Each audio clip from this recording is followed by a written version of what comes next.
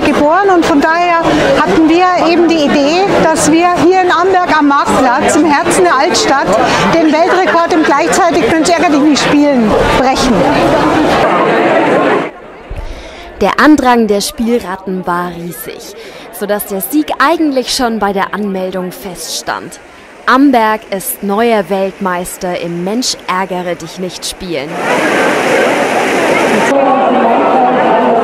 Der Marktplatz war am Samstagabend so rappelvoll, dass nur noch die offizielle Teilnehmerzahl fehlte, um den locker gebrochenen Rekord zu bestätigen. Die stand nach 30 Minuten gemeinsamer Spieldauer um 19.50 Uhr fest.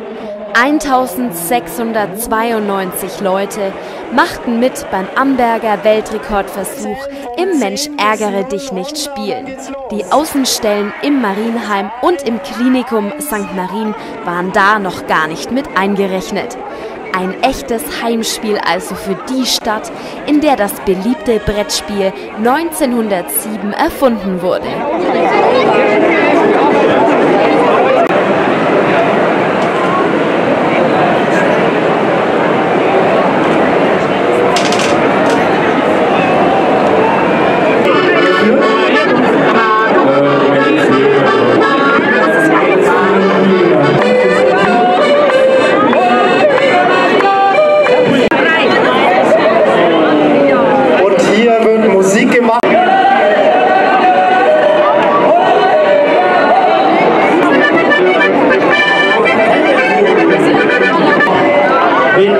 Mit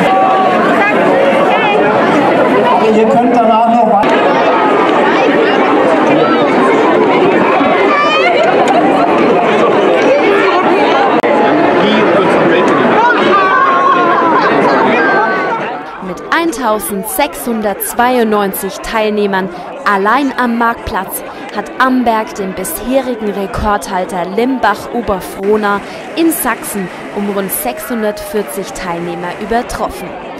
Das ließ am Samstagabend alle großen und kleinen Mitspieler jubeln.